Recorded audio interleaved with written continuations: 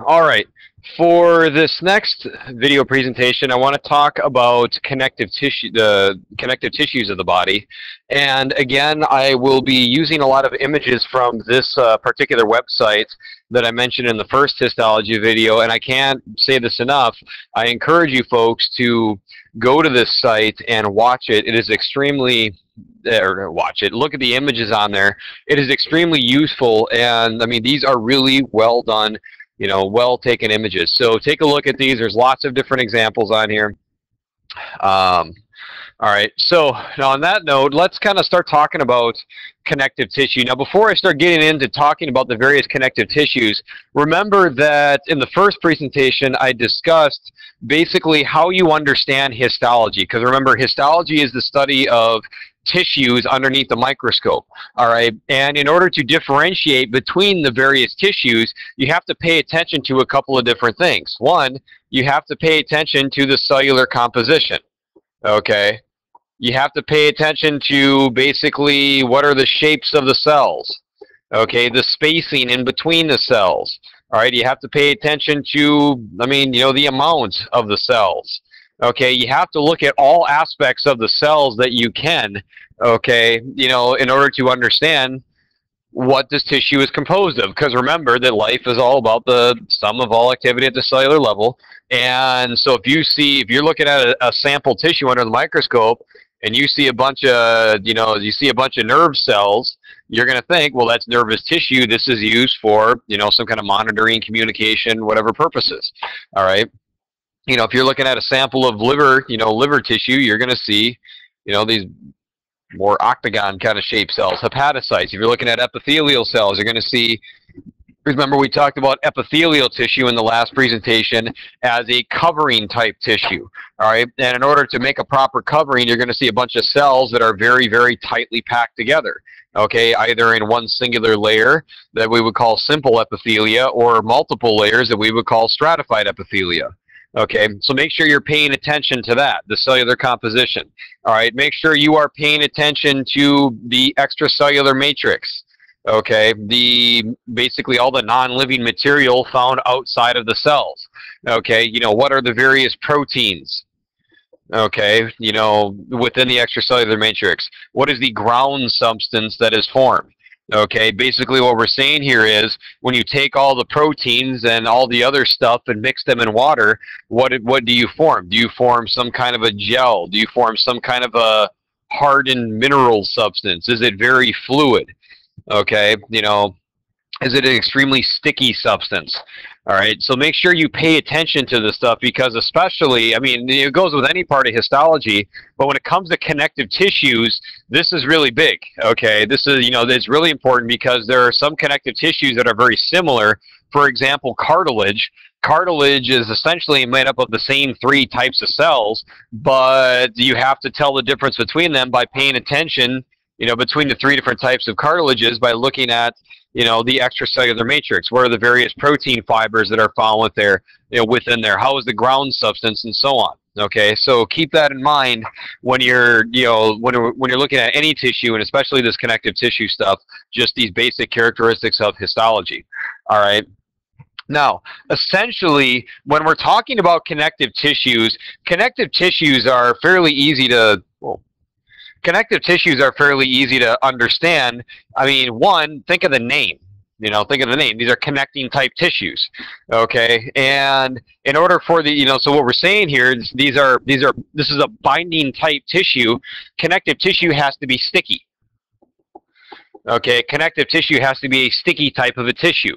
All right, hence the term. Now, when you see CT, that's the common abbreviation for connective tissue.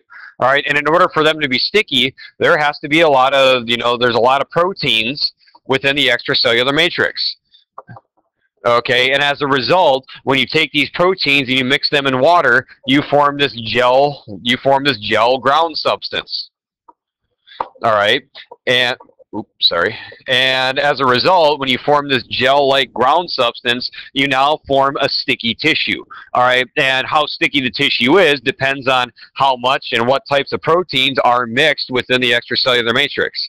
All right. so keep that in mind that that's essentially what connective tissues are it's just it's just cells and proteins and water mixed together to form these you know these sticky gels gels and fibers all right so and in saying that as we kind of work our way down through the connective tissues um, you have to understand the the some of the common fibers or proteins that you find within the extracellular matrix of these tissues okay? And the two most common ones that you're going to encounter um, are going to be collagen and what we call elastin okay collagen and elastin. All right now when we're talking about collagen and elastin collagen is a very very it's it's a it, think of collagen as a structural protein. It's a strong protein structural protein okay? Now in saying that, collagen has a has a very high what we call tensile force.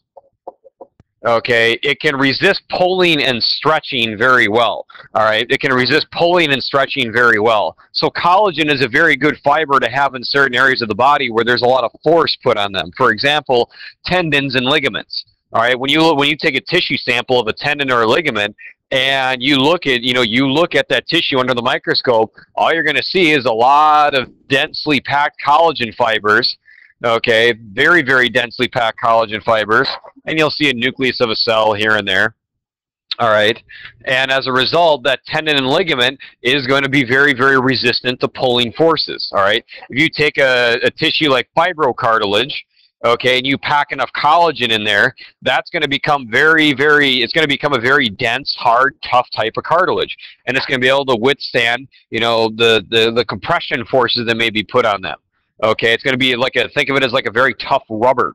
Okay, so and collagen is actually the most abundant protein in the human body, makes up about 25% of all the proteins in our body.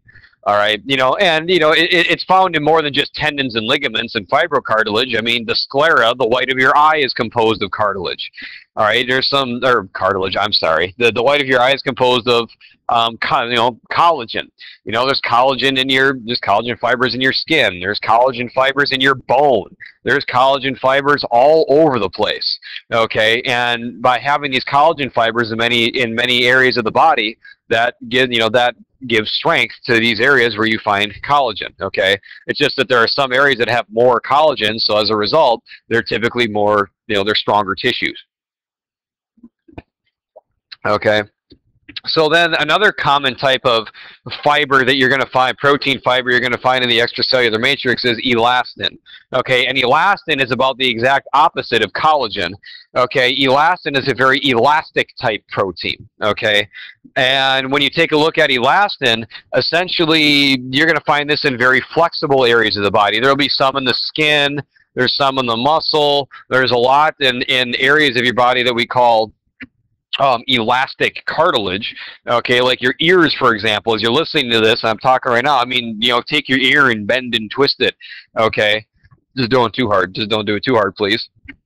Um, but you know the, the flexibility of your ear comes from uh, you know the high amount of elastic fibers within the matrix of that tissue all right of that elastic cartilage all right now when you look at now when you look at these tissues under a microscope for example when you're looking at elastic cartilage what you're going to see is you're going to see the chondrocytes the cartilage cells all right and then the elastin fibers are going to be very very long okay they're very long they're very stringy like in appearance Okay, whereas when you're looking at collagen, collagen is going to look, you know, it's going to look a lot more thick, a lot more dense. Okay, you know, which gives, you know, which allows it to be a more structural type protein. All right. So, so keep that in mind as well. Collagen fibers are going to look bigger and thicker. Elastic fibers are going to look longer and thinner. All right. And then the other, the, the other type of protein fiber that I'm going to mention is reticular um, reticular fibers, and you're going to primarily find this in a type of connective tissue that we call coincidentally reticular connective tissue. All right and I'll talk more about reticular connective tissue in a little bit, but reticular connective tissue is, reticular fibers, I should say, are short branched fibers, and um, reticular connective tissue you find is forming frameworks of certain areas of the body. All right, and I'll talk more about that in a little bit. So pay attention to those fibers that are within um, within uh, what was I going to say? Within the connective tissues, collagen, elastin, or reticular tissues or reticular fibers. Now, the connective tissue um, also has a wide variety of cells. You know, connective tissue, you have to bear in mind, is the most variable tissue you're going to find within the human body. Okay, there's a lot of variety that goes with this. Part of it's because of, you know, a, a big part of this is because of all the different cells that you can find within connective tissue. All right. Now, essentially, within the, the tissues that we call connective tissue proper, which I'll talk about in a little bit, okay, or the supportive connective tissues, there are, there are cells that are very mitotically active, meaning, you know, cells that are you know, constantly dividing. All right, so essentially when we're developing connective tissues, we have these cells that we call blasts. All right, and what these blasts are doing is they're they're they're synthesizing the, the the proteins that you find within the extracellular matrix, and they're excreting these proteins. All right, and then what's going to happen is as they continue release the, continually release these proteins out into the extracellular matrix, remember what I mentioned earlier, when you start taking these proteins and mixing them in water, you're going to form a gel-like ground substance around the cell. All right, and then when this cell becomes embedded within the gel, it's not going to, it's really not going to, you know, can you know, secrete proteins like it did when it was younger. So then it's just going to become more of a functional cell of that tissue, and then we would call that a site. For example, cartilage. We would call a cartilage cell a chondro blast early on, okay? Because as we're developing cartilage, you know, this chondroblast is going to be continuously secreting the proteins out into the matrix, and then eventually that cell is going to become embedded within the gel of that tissue, and then it's just going to become a chondroblast, and you know, just a, like I said, just a regular functioning cell of that. So keep that in mind when you see blast or site, you'll see chondroblast, chondrocyte, osteoblast, osteocyte, and so on. Okay. So basically, within the connective tissue propers, we call these cells fibroblasts because they're, you know, fibroblasts are continuously secreting the elastic fibers, the collagen fibers, okay, and so on. Um, you know, in cartilage, I just mentioned this, you know, osteoblast and osteocytes, okay, in bone marrow, we would call these hematopoietic stem cells, okay, hemato, remember some medical terminology review, blood, think of poiesis as a process of making or synthesizing or creating. Okay. So basically, there are these stem cells within bone marrow that eventually differentiate into mature, you know, red blood cells, white blood cells, or what are called megakaryocytes that produce platelets. All right. Other then, then there are other cells, um, very common cells that you find within connective tissue. There are fat cells that we call adipocytes. Okay, there are leukocytes, there are red blood cells and erythrocytes, there are and there are also cells that we call mast cells and macrophages. All right, essentially what mast cells and macrophages are, mast cells are cells that basically store histamine. Okay, and essentially what happens then, for example, if you cut your skin and damage your skin, you know, wherever may, or or you come in contact with an allergen, these are going to release hist these cells are going to be stimulated to release histamine, and then that will stimulate an inflammatory uh, that'll help enhance and then stimulate an inflammatory response. Okay, I mean that's all. I mean essentially an allergic reaction is an inflammation of sorts. Okay, some people just have them worse than others. Histamine has more effects than that. Um, more effects than just you know promoting inflammation. You know, histamine in the in the airways can cause the constriction of your bronchioles, and then you won't be able to breathe. That's why you know people that have allergies need to carry an inhaler or an EpiPen of sorts. Okay. Um, and then macrophages are phagocytes that you find embedded within the within the the matrix of the tissues. All right, and these phagocytes basically they'll consume old you know old used up proteins. They'll consume you know dead cells, cellular debris, anything that's infecting us. Macrophages just keep the tissues clean. All right, you may find cells that are used to produce antibodies, plasma cells. All right, and you know, and these these antibodies will be excreted into our body tissue compartments to help fight infections. Okay, but like I said, the the high variability of connective tissue just comes from the wide variety of cells that you can find within these connective tissues. All right, so and I'll and I'll be bringing these cells up again as I'm going through each specific connective tissue. All right, so as a result then, after talking about some of the basic properties of connective tissues and now the cells of connective tissue, this is another reason why we say that connective tissue is the most highly variable in the body because of the wide array of functions. Okay, I mean, primarily you think of connective tissue as binding and support. Okay, because like we said, I mean, if there's one thing you want to remember about connective tissue is that it is sticky. All right, you know, you take these proteins, mix them in water, and you form these gels and connective tissue is very, very sticky. All right. And connective tissue offers us some protection. All right. It offers us some protection. Remember, you know, we just mentioned we just mentioned white blood cells and so on. We mentioned blood cells. Okay, remember, white blood cells are essentially your immune system. Okay, and so, and as a result, this helps protect. You know, your immune system is there to help prevent and you know prevent and fight off infections. All right, adipose tissue can help um, protect us because you know fat can be a cushioning type tissue and that could help us you know if we fall from a high place someone hits us or whatnot. Okay that could cushion trauma that could potentially hurt our internal organs. All right? Mineral storage. You saw in the previous slide that osteoblasts and osteocytes were on there. Remember osteo means bone Okay, so as a result, bone is a connective tissue, and I'll talk about why when we get to that area. Okay, but you know, there's a lot of minerals that we store within bone. All right, insulation, that's where the adipose comes in again. Okay, when it comes to heat, um, fat is very, very good at insulating heat. It's just not very good at generating heat. Okay, whereas muscle tissue, on the other hand, muscle is very good at generating heat, but is not as good of an insulator as adipose tissue. Okay, so adipose can act as insulation.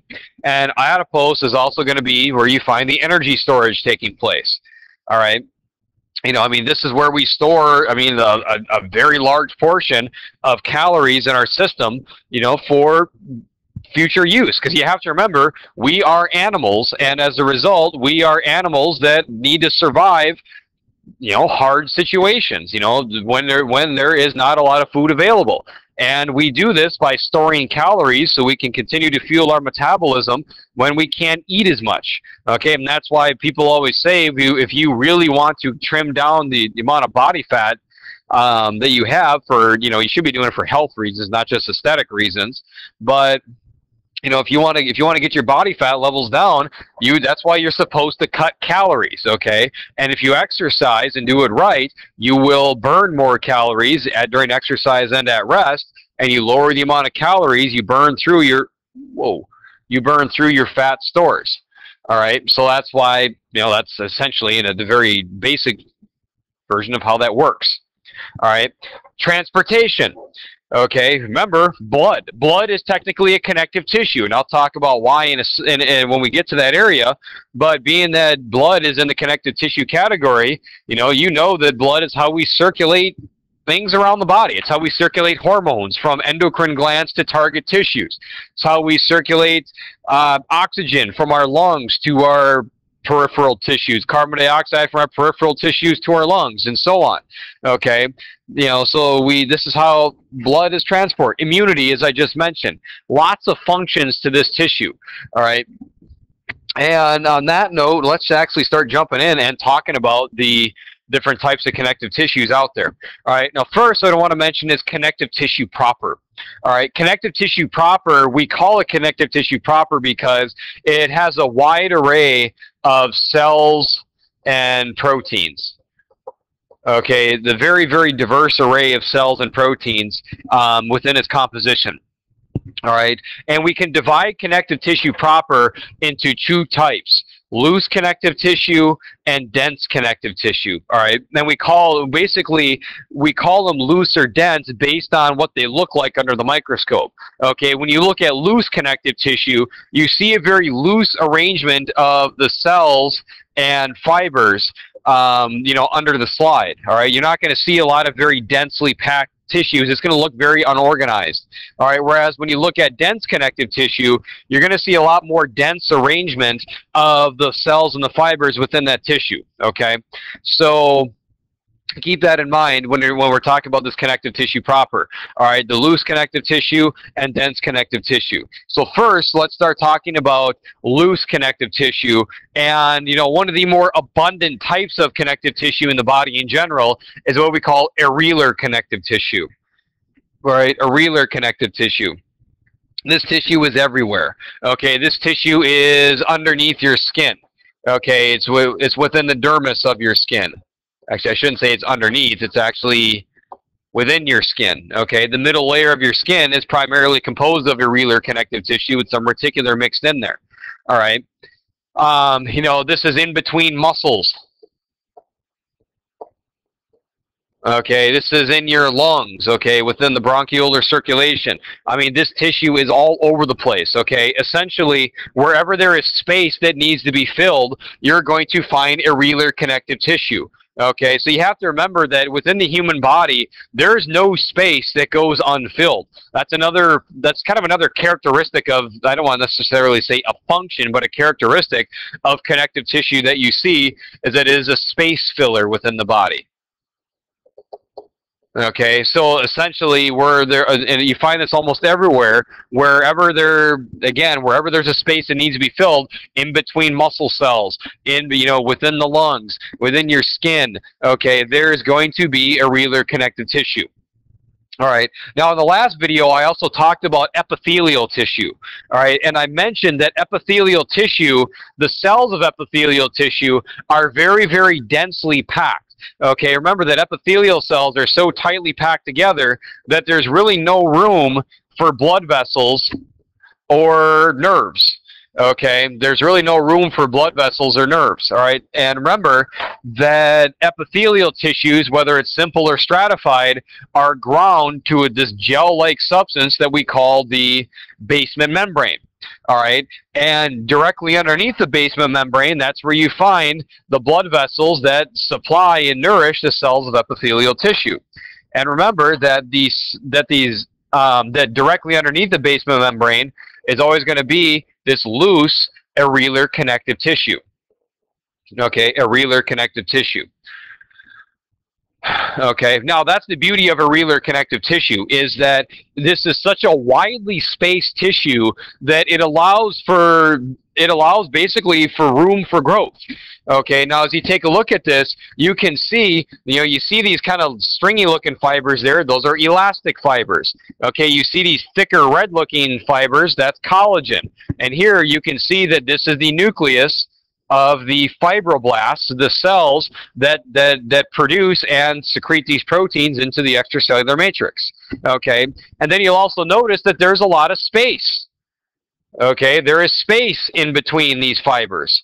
Okay, so as a result, being that there's space in between these fibers, that space where a blood vessel can grow. That space where a nerve can can bud and protrude through. That space where you can you can put an, a receptor for the nervous system.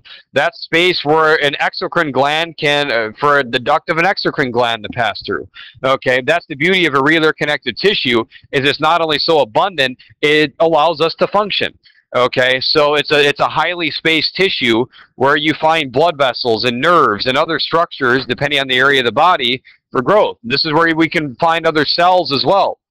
Okay, because for example, when you look at the bronchioles of the lungs, all right, let's say you come in contact with, uh, let's say you're allergic to cats, all right, you're allergic to the dander in cats, all right, and you start breathing, you, you, you go to, let's say you, you meet a new friend, you go over to their house, and you start hanging out, and you didn't know that that person had a cat, all right, and you know, remember in the spaces in between the bronchi, you know, the, the bronchioles, the tissue spaces of the lungs, there's going to be some areolar connective tissue.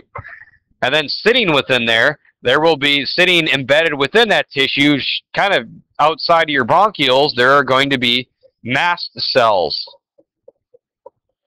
Okay, there will be some mast cells. All right, so now you're breathing in that animal dander, you're allergic to the cat. Now these mast cells are going to release histamine. Okay, this is a, you know, and then as a result, your bronchioles are going to constrict and you're not going to be able to breathe. Okay, so there's room for cells in here. There are phagocytes in here. These antibody, other antibody-producing cells, you know, B cells and plasma cells and so on. All right, so this tissue is all over the place. All right, so that's areolar connective tissue a very, very abundant type of connective tissue. All right, and here's an example. Here's an image from the website that I pulled up. And again, you can see the very, very loose arrangement of the, you know, again, of these, of this tissue. You know, you can see all the stringy proteins. You can see kind of the thicker areas. And again, you can see how there could be room for blood vessels to form, for nerves to uh, pass through this tissue, and so on. Okay, so that's areolar connective tissue. It's a very, very spacey type of tissue. All right. Next is reticular connective tissue, and reticular connective tissue, um, definitely the most common area that you're going to find reticular connective tissue is going to be within lymphatic tissue. Okay. Okay, we would say that reticular connective tissue forms the framework for lymph organs. Okay, think of reticular. I mean, reticular connective tissue is in other places of the body as well. As I mentioned before, you will find some reticular connective tissue within the skin as well as other areas. But definitely, this is a tissue you're going to see a lot when you're learning about the lymphatic system and you're learning about all the various structures that make up the lymphatic system, such as lymph nodes, the thymus gland, your tonsils, uh, various patches around the body, you know, like uh, Peyer's patches found within the intestinal tract and so on. All right. The, the, the spleen, this is what, that's what you see pictured here. All right so think so i definitely for the sake of this class i want you to primarily think of reticular connective tissue as forming the framework for lymphatic organs now as I mentioned earlier, reticular fibers are basically are, are basically very widely spaced, short and branched collagen fibers. Okay, so reticular connective tissue is a very very spaced tissue. There's a lot of space in between the fibers of this tissue. And the beauty of that is in understanding essentially what what the organs of the lymphatic system do. Whether you're talking about a lymph node, whether you're talking about the spleen, whether you're talking about the thymus gland or tonsils, these are those patches, they're you know lymph nodules essentially what all these have in common is that these are very densely packed with cells, especially white blood cells. All right, white blood cells and fluids. Okay. So that's the beauty of having all of this space in between these reticular fibers is there's room for white blood cells, okay? So as you have this, this clear colorless fluid called lymph circulating through a lymph node, you know, and you're carrying around a, a, uh, an antigen from a bacteria or a virus, and that, and that circulates within a lymph node, now all these white blood cells can start to attack that, that foreign antigen, all right? The, so essentially that's what lymph nodes do. They filter filter this fluid that we call lymph. Your your spleen filters blood, all right, because you know it's primarily blood flow going into here. You know your your your tonsils filter essentially whatever you eat and breathe. Okay, patches filter whatever is flowing through the GI tract. Those Peyer's patches that I mentioned. All right, so that's the beauty of reticular connective tissue, and the spacing of it is lots of white blood cells in here, and these are essentially organs that help defend us from foreign pathogens. So that's that's really how I want you to think of reticular connective tissue forming the framework for your lymphatic organs. And here's another image of it right here. Again, you can see the very loose arrangement of the reticular fibers, and then you can see where there are cells all over the place in between the spaces of these fibers. Okay? So that's reticular connective tissue. Now let's move on to adipose tissue. All right, adipose tissue, if there's any tissue in the body that's the easiest to identify, it's adipose. Okay, and adipose tissue is, comp is comprised of cells that we call adipocytes. Okay, adipocytes. All right. Now, adipocytes, these are just, this is uh, essentially a storage tissue. The primary function of, of adipose tissue is to store calories. Okay, calories in the form of triglycerides. Okay, essentially what a triglyceride is, it's a two-part fat. It's a fat that has a what's what's called a glycerol head, and then three fatty acid chains attached to it. Remember, when we're talking about the basic component of a lipid, remember, fats are just, as I mentioned a, a while ago in another video, fats are just long hydrocarbon chains. Okay, so they're strings of carbon with hydrogens attached to them. Okay, and you know again, lots of calories here. Okay, that's essentially what these fatty acid tails look like, and then the glycerol heads uh, uh, chemically a little different, but I don't need to. I don't want to go too far off topic with this. Okay, so so basically, what we do then, what these adipocytes do, is they store all this ad, they store all this fat in here. So essentially, all this white that you see within this adipocyte that's all fat. It's basically oil. All right. So all this fat gets inside here. This is just like one big oil droplet okay and then as a result you use you just you save that for later all right so again if you're in a situation where you need to i mean you primarily burn fat on a day-to-day basis to fuel your metabolism but if you're starving your body you know for dietary reasons or for religious reasons you know for fasting or you're just you know starving in general um, you know there are there are enzymes in here that are going to break apart um, you know this triglyceride is going to you know will break off these fatty acid tails we'll circulate these in the blood to our muscles and other organs that need them and then we can use this glycerol head as you know for carbohydrate metabolism all right and you know that's how we use these cells all right? They're just oil droplets that we burn later when we need them all right. Now, again, these are easy to identify. I mean, look at them. I mean, they look like ping pong balls underneath the microscope. All right. So basically, what you're seeing is just a huge drop of oil, and then you notice that, that within all these adipocytes, there's a dark spot on the periphery of these cells. Okay. That's the nucleus of the cell. All right. That's actually the nucleus of the cell. So if we take a look here, so right here, this is this is a good one. All right, that's the nucleus. So now the nucleus is on the periphery of the cell just because there's so much oil, there's so much fat within the within the cell itself. It pushes the nucleus is pushed against the plasma the plasma membrane of these adipocytes. All right and so so all you're looking at is is essentially a white cell with a nucleus. And you know you, you don't really see you know any other organelles that would be within the cell would also be shoved against the plasma membrane. All right? So that's why these are so easy to identify. Now when you take a look at these adipocytes you know when you take a look at images uh, let's go to the next one or you can kind of see on this picture, there is no real specific arrangement to adipocytes, to, to, the, to these uh, fat cells of, of the body. They're just stacked all over the place. Okay, you see there's no really you know unique arrangement of them. It's just wherever there's room, wherever there's room, they just stack all together. All right, so that's essentially adipose tissue. Um, and again, adipose tissue, you know, as I mentioned, the primary function is, you know, the storage of calories, but we can also use this as a thermal insulator and also as a cushioning protective uh, type tissue as well. But those are secondary functions. All right, you know, the cushioning comes from, you know, essentially you have all these fat you know, oily cells piled on top of each other, you develop kind of a, a, a, cushy tissue. All right, it's soft, but it can also withstand some force. All right, the thermal insulation, again, you have all these very fatty cells stacked together. You can develop, you can make a pretty thick type of a tissue, and as a result, you know, that can help shield heat or hold heat within the body. All right, and this is what we would call white fat. Okay, when you take a look at this, you know, in the previous two that I just looked at as well, this is white fat. I mean, obviously you can see why it's called white fat because what does it look like? It's white.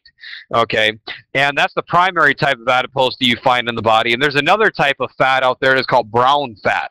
Okay, when we're first when we're first born, we do have we do have a decent amount of brown fat within us, but as adults, we more or less get rid of our brown fat. And we call brown fat brown because, well, it looks more brown underneath the microscope. It looks like that because brown fat has a lot of mitochondria within it. Remember, mitochondria are the powerhouses of the cell. These are the ATP, you know, where we where we you know through aerobic metabolism where we uh, develop the bulk of the ATP for the cell. All right, you know the energy for the cells. All right, now basically animals that utilize brown fat would be animals, uh, for example, that hibernate okay like a, a bear. A bear is going to have a good amount of brown fat okay? Because hibernating animals they sleep for they don't sleep they don't you know it, when we say hibernation i mean it depends on the animal we're talking about but let's say we're talking about these big mammals okay? Like a like a bear for example. A bear just doesn't go to sleep at the beginning of winter and just sleep through the entire time okay? They're they're in a, a kind of a in between sleep and a comatose state all right? But they'll a bear will get up in the middle of winter walk around go to the bathroom room, maybe even give birth, and then just go back to sleep. All right but essentially, like I said, they don't sleep entirely through. All right, but there are some animals that do, like certain reptiles, but they have that's a whole whole, whole different physiology topic. So basically, when we say that these adipocytes have a lot of mitochondria in them, there's a lot of metabolism in these cells, and as a result, because of all the chemical reactions taking place, um, you know, because you got to remember when when a bear is preparing for hibernation, they do nothing but eat and eat, and I mean they live to eat okay, and they eat to live, all right? So they just continuously eat. They gorge themselves from the day they wake up till the day they have to hibernate, and they build up their and they build up their fat stores. All right. So then what happens is because of all this mito, you know, they, then then they hibernate. They don't really eat a whole lot. They burn through their fat stores throughout the wintertime. And as a result, by having all this mitochondria within their brown fat as well, they can generate a lot of heat because of all the extra metabolism and chemical reactions taking place. So brown fat's a type of fat that essentially is used to keep an animal warm.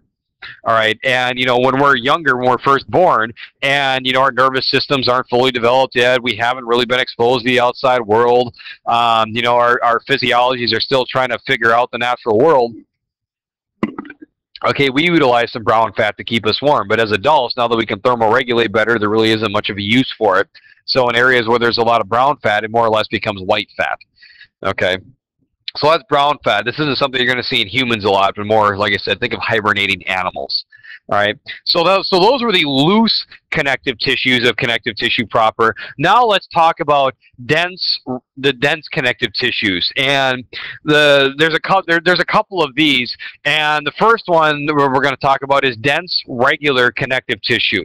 Dense regular connective tissue. All right. Now there you know there so you can probably think if there's a dense regular there's going to be a dense irregular coming up next okay and basically, we call them regular or irregular because of the arrangement of the cells and the fibers that make up, you know, that make up the composition of this tissue.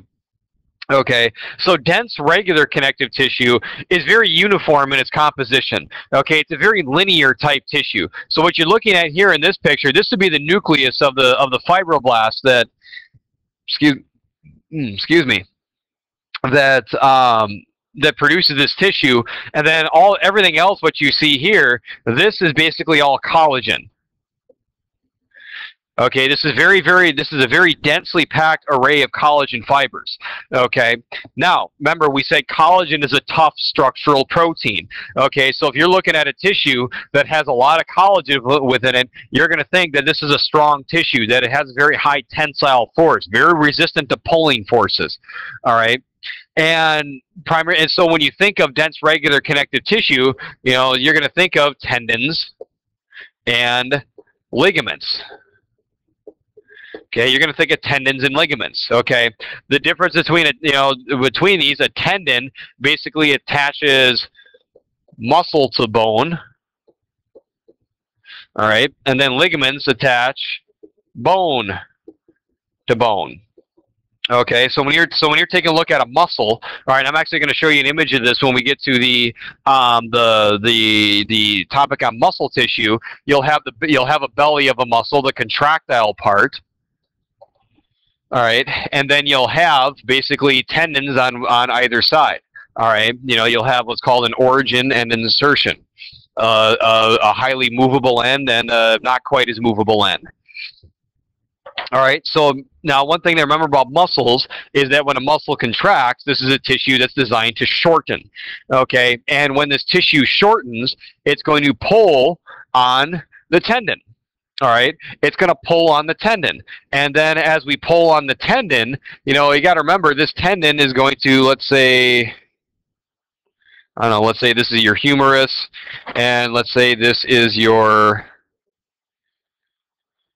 elbow.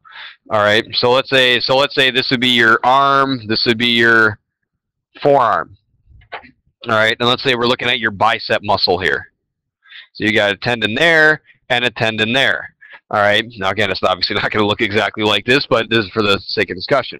So now what happens when this muscle contracts and it shortens, it's going to pull on this tendon, and then as a result, this tendon crossed the joint, so that's going to allow this joint to then move. It's going to allow you to curl your, you know, your your your forearm. You know, it's going to allow you to take your wrist and move it up towards your shoulder. All right, it's what we call flexion of the elbow. All right. So since muscles are continuously pulling on these tendons, all right, we don't want to be ripping and separating and tearing these tendons, and you know, because a lot of in order for a mu muscles can exert a lot of force in a contraction. All right, so keep that in mind. All right, and then ligaments, uh, you know, attach bones to bones. So basically, you find ligaments within joints. All right, ligaments are within joints. All right, these make joints more secure. All right, because tendons alone crossing a joint is not enough. All right. So, for example, you've heard of the ACL, the anterior cruciate ligament, or the MCL, the medial collateral ligament. All right, those are ligaments that are that are designed to basically make the knee more structurally stable. All right, so that's essentially what ligaments do is they just you know they, they make joints more stable all right and they allow muscles to carry out their actions because if you have a you know if you have a joint with the bones in place and the structural stability is in place then muscles can allow for you know make movement happen Okay, so that's dense regular connective tissue. And then the dense irregular connective tissue then would be, again, a very dense, uh, an area that's densely packed with collagen, except the arrangement is, well, irregular. Okay. Now, as you can see here highlighted in, the, in this image, all right, this is what we would call a capsule. Okay, that's what we call a capsule. All right, now this is your shoulders, you can deduce from this picture, and this is what we would call a synovial joint. Okay, I mean, I'll talk about joints later on, but a synovial joint is a very complex joint that's within the body. All right, and one characteristic you're going to learn about synovial joints is that these are encapsulated joints. There is some kind of tissue capsule that encloses all the structure of that joint synovial capsule. And as a and and this capsule is composed of dense irregular connective tissue. All right? You know when you get into the when you start learning about the heart okay you're going to learn that the heart is surrounded by a sac called the pericardium. Okay? Peri meaning around cardium you know you know heart. Okay? So a sac around the heart all right, the pericardium is comprised of this dense irregular connective tissue. So the beauty of this tissue is, you know, again, you have cells that are releasing high amounts of collagen into the matrix, forming these tough structural gels, these tough ground substances.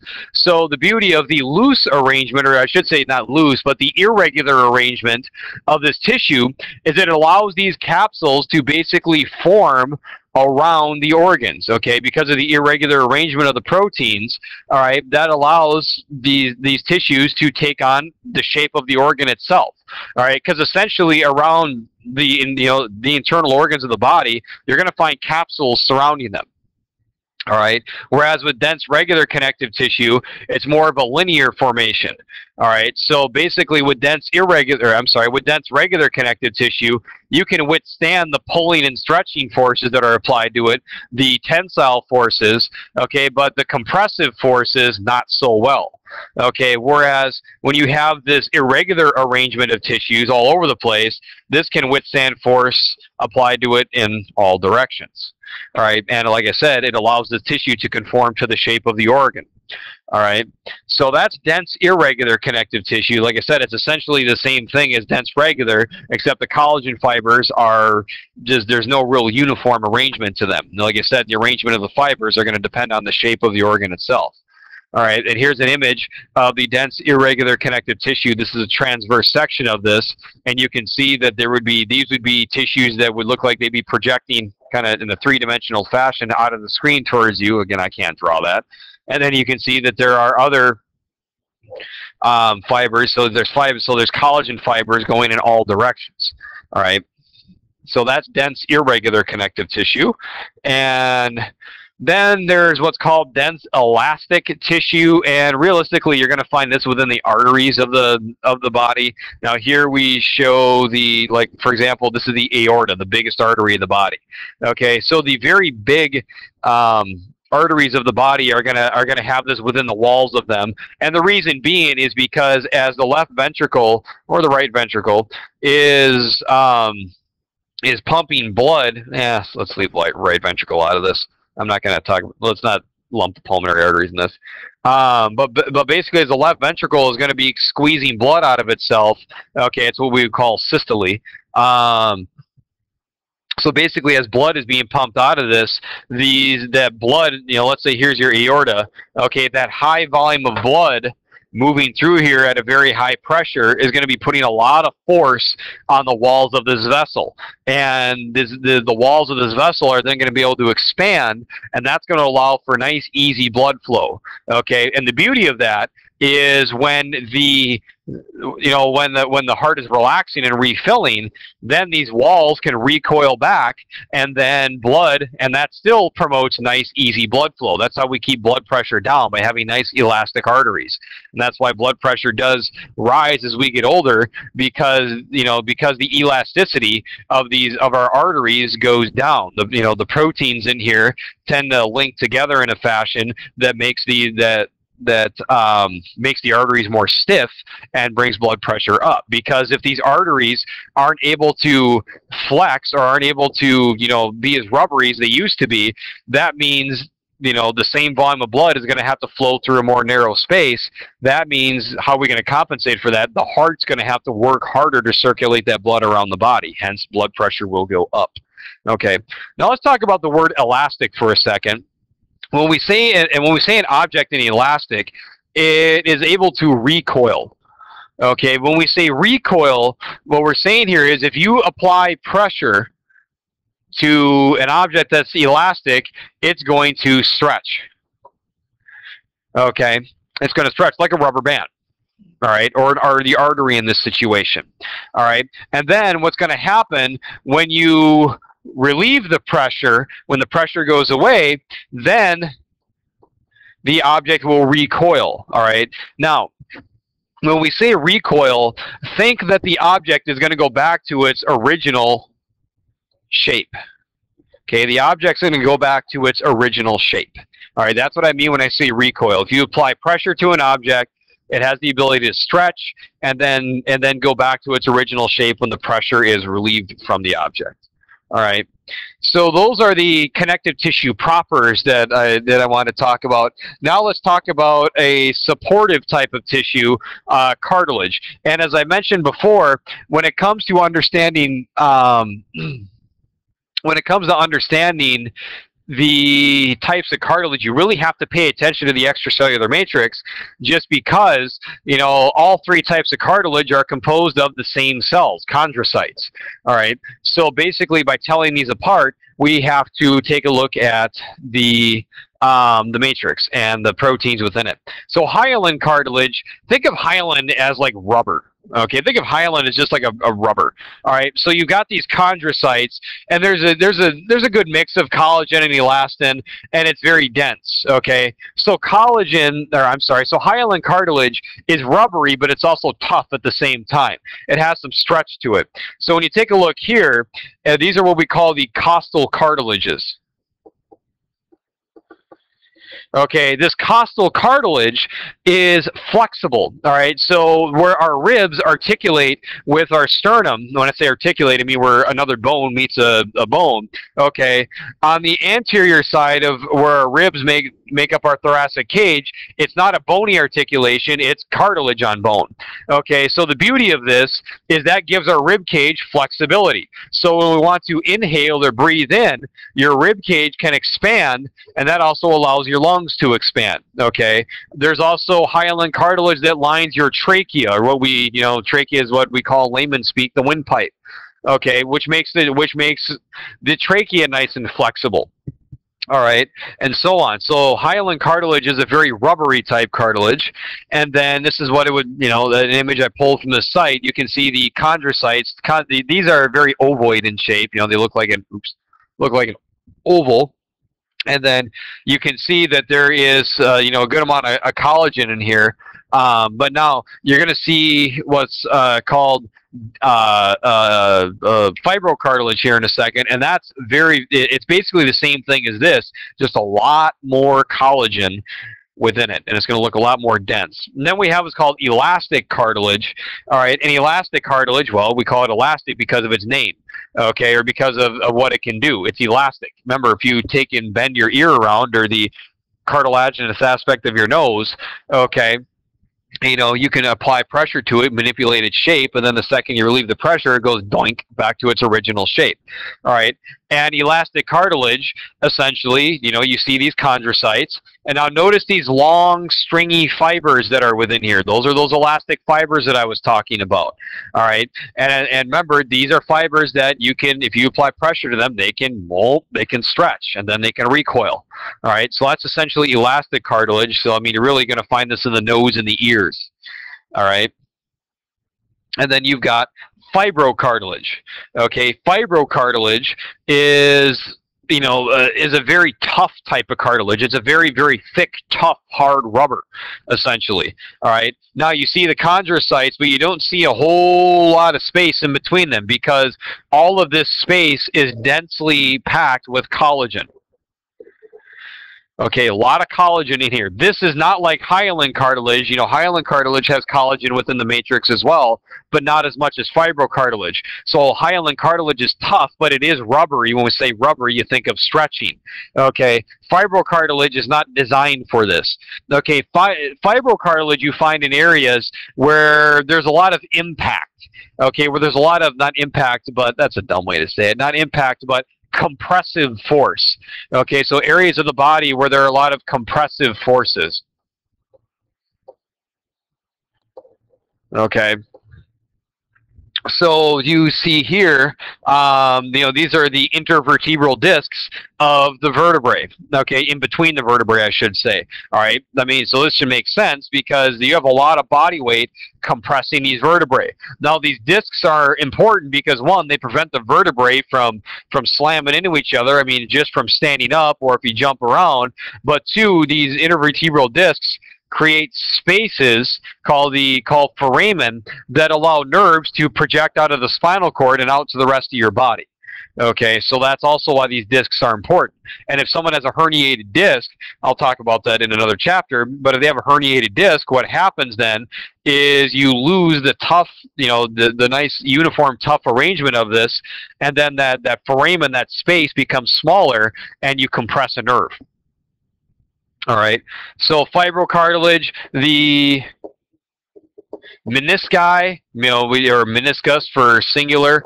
Okay, you know, the meniscus are this is the cartilage you find within your knees.